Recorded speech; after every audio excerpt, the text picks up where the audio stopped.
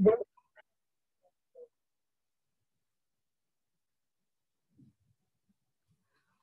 afternoon, one and all. Myself, Rubina, and our project title is COVID-19 face mask detection using TensorFlow, Keras, and OpenCV. Our guide is Dr. M. Giri, and my teammates are K. Messi, Sarita, and Haripriya. So this is our project. Our pro Firstly, I would like to explain our project abstract.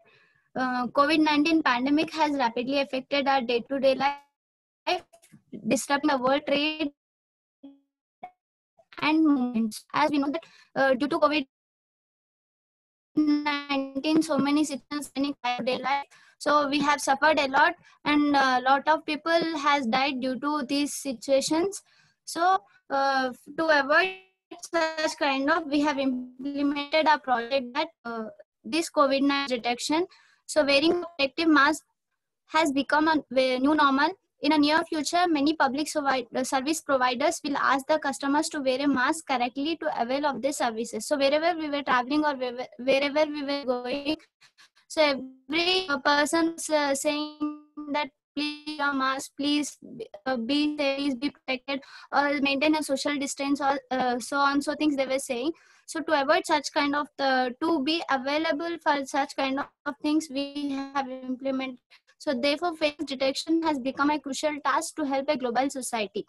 So this project helps global society too.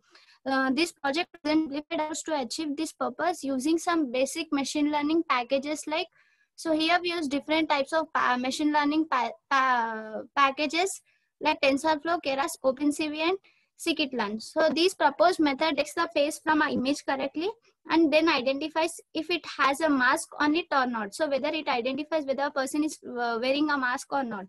As a serverless task performance, it can also detect a face along with its motion.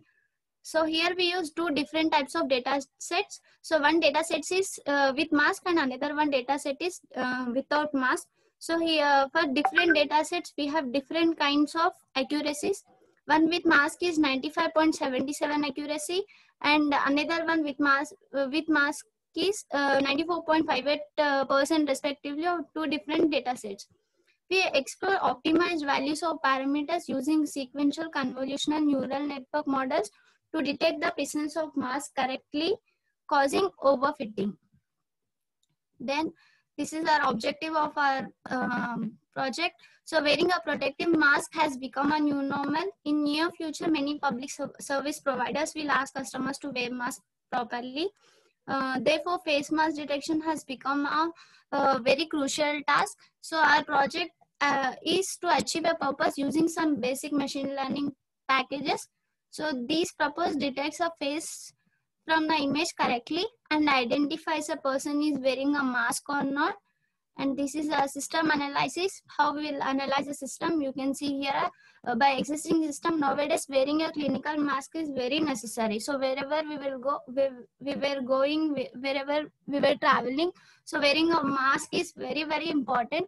So the public should be aware of whether to put on it uh, put on a mask for source control or aversion of covid-19 so potential points to of interest of the utilization of mask lie in reducing uh, vulnerability of risk. So due to this COVID-19, many people should be aware of wearing a mask. They should protect themselves. So uh, they have to, uh, they should be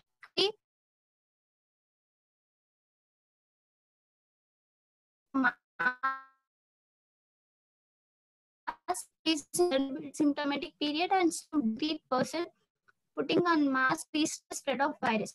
Wearing a mask is reducing of virus uh, and it is a we can stop virus by wearing a mask. In existing works, we have to put human efforts as more as possible to observe the people wear a mask or not. So this is difficult and time taking a process. Disadvantages of existing system is need more human effort maintenance is difficult.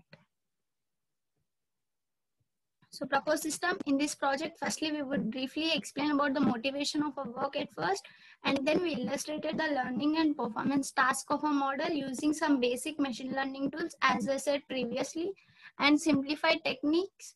The methods has achieved reasonably with high accuracy. with two different data sets and it can be used for a variety of applications also. So advantages of this proposed system is accuracy is more and the next is system design. Uh, to analyze the system design, we have used different types of UML diagrams. As I have mentioned here, you can see. So the first one is class diagram, how we will detect and how we will uh, verify it. You can check out here. So mass detection, first we'll read the labels, whatever the labels, labels were uh, there in it. Then after that, we'll upload a data set. Uh, as I said, two different types of data set. After uploading a data set, we'll uh, train a model uh, training a model as a CNN. CNN is nothing but a convolutional neural network. And after uh, training a model, we'll detect a person is wearing a mask or not. So that is nothing but a mask detection. After it graph, we shows the accuracy of uh, two different data sets.